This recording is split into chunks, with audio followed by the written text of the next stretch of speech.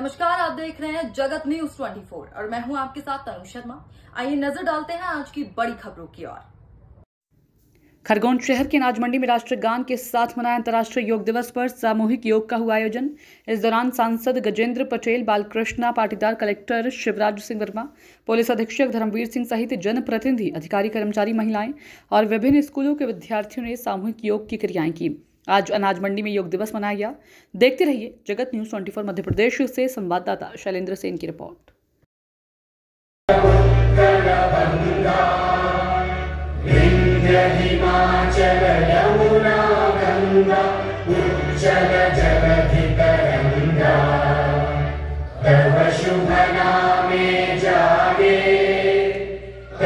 शुभ